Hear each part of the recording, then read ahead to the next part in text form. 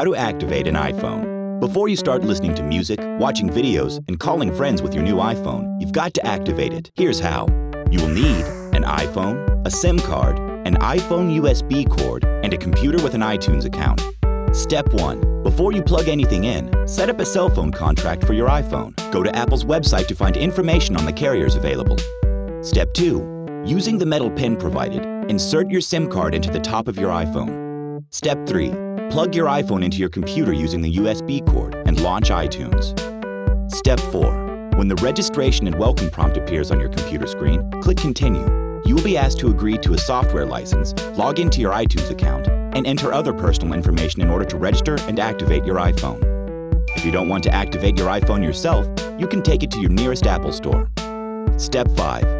Follow the prompts either to set up your iPhone as a new phone or to restore the data from an old one. If this is a new phone, give it a name so iTunes can properly label it in the device section.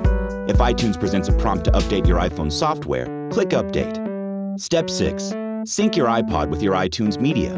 Choose songs, pictures, contacts, and anything else you have stored in your library for syncing. And be patient. The process may take 20 minutes or more. Don't unplug your iPhone while it's syncing. Step 7.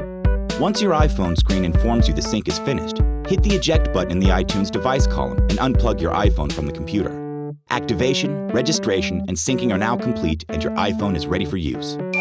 Did you know? 1 million iPhone 3Gs were sold within three days of the device's release in 2008.